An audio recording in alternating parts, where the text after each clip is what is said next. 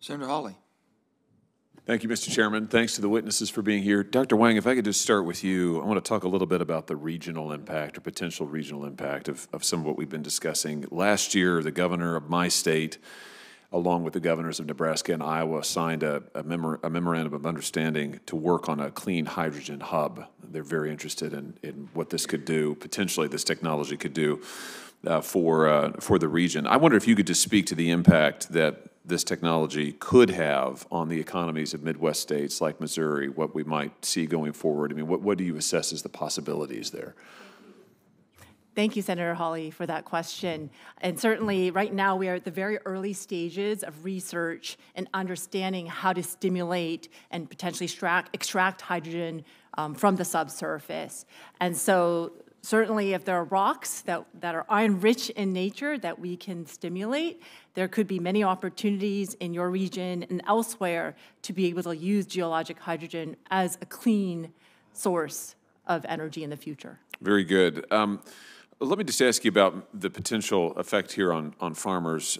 We, Mr. Johnson's mentioned a couple times, I think, that, that uh, one of the products, byproducts of hydrogen uh, is, uh, or hydrogen can be used to make ammonia. That's a key component, obviously, in the production of nitrogen fertilizers. That's of great interest to my state. We're a farming state. Of course, Russia's invasion of Ukraine severely disrupted the supply of fertilizer all across the globe, much to the detriment of, of farmers in Missouri and across the country.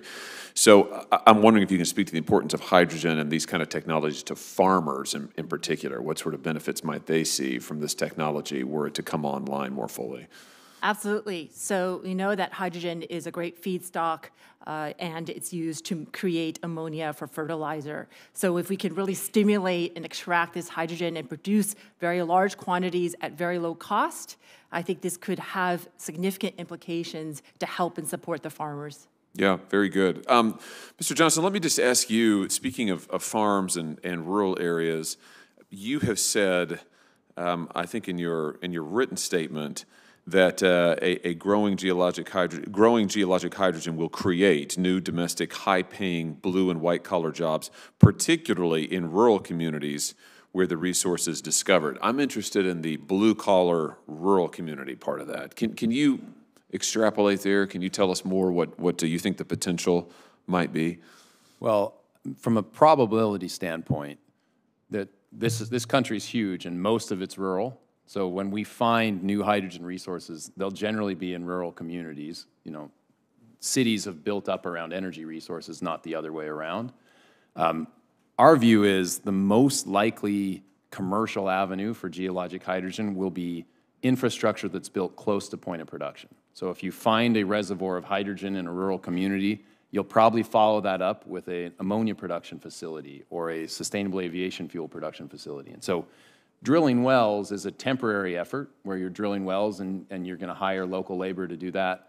Those long-term operating plants create high-paying jobs that last forever, right? And everybody finances these plants based on 20 or 30 year lifetimes, but we all know they operate for 60 years and 70 years as the backbone of local economies. And so geologic hydrogen can really establish that kind of backbone in rural areas.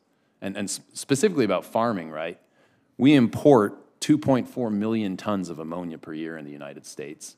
Um, you know, Missouri was impacted by the spike in ammonia prices, which had nothing to do with the cost of ammonia in the U.S. It was the cost people were paying for ammonia in Europe getting from Russia, right? The U.S. is the largest net importer of ammonia today. Um, food security and energy security are both national security.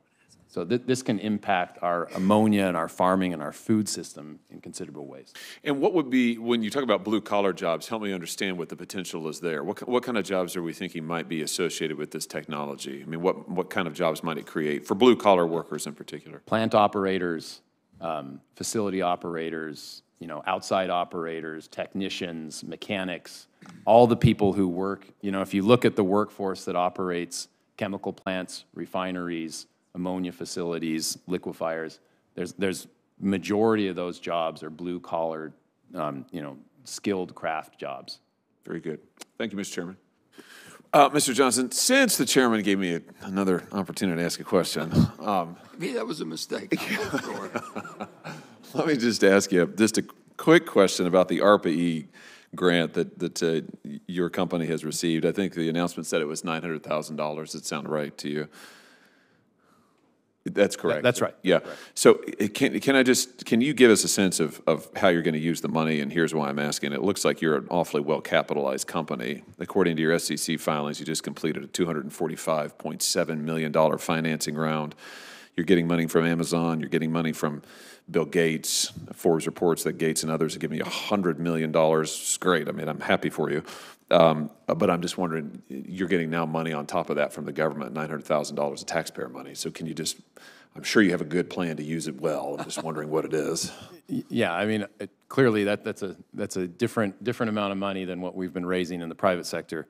The, the investment into Koloma is based on Koloma using its data advantage and technology advantage to find existing natural hydrogen reservoirs, and that's, that's our focus. And, and so when the investors, when our shareholders look at it, they're investing because we're going for that, that near-term opportunity.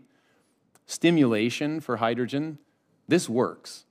We're doing it today in our lab. The big question is, can you produce enough gas quickly enough out of a well for the economics to work? The science of it is real. It'll probably take five to seven years for us to really know if that works. Our shareholders don't want to fund that. The direction they gave us is focus purely on near-term hydrogen exploration.